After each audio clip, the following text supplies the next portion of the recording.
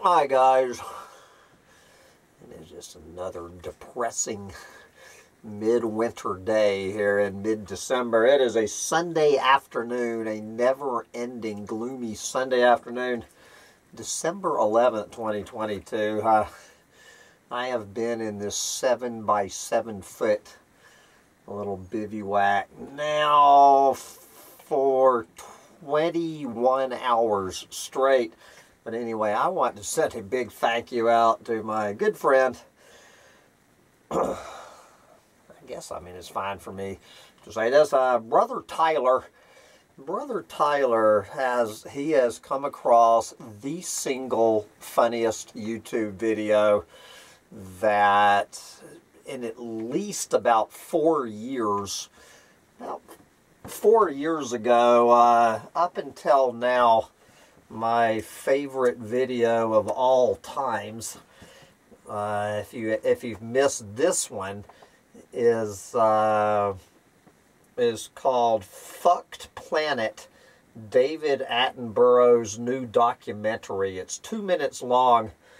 I highly, highly advise uh, that one, but uh, that one has finally gotten some competition from a YouTube channel called Hashem Al Ghaili. Never heard of this guy. He's got 521,000 subscribers. Now got 521,000.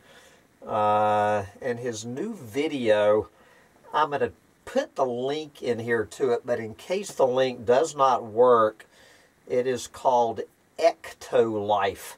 That is capital E C T O, capital L I F E. That's one word, EctoLife. The world's first artificial womb facility and I see it has 61,000 views in the past two days. One, let's see, 1,100 thumbs up.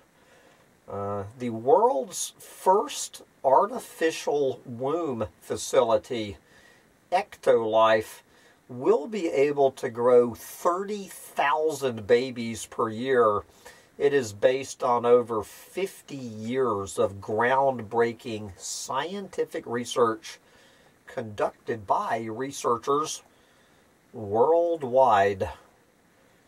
There you go.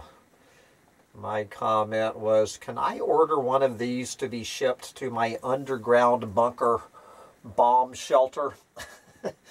so anyway, guys, uh, you need to stop anything you are doing right now and uh, go watch EctoLife, the world's first artificial womb facility for some uh, well-needed humor here in the collapse of global industrial civilization. Ah, Jesus, time marches on. Bye, guys.